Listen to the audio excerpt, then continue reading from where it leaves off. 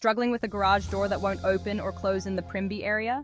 This common frustration could be due to issues with your opener, remote control, sensors, or even a simple power outage.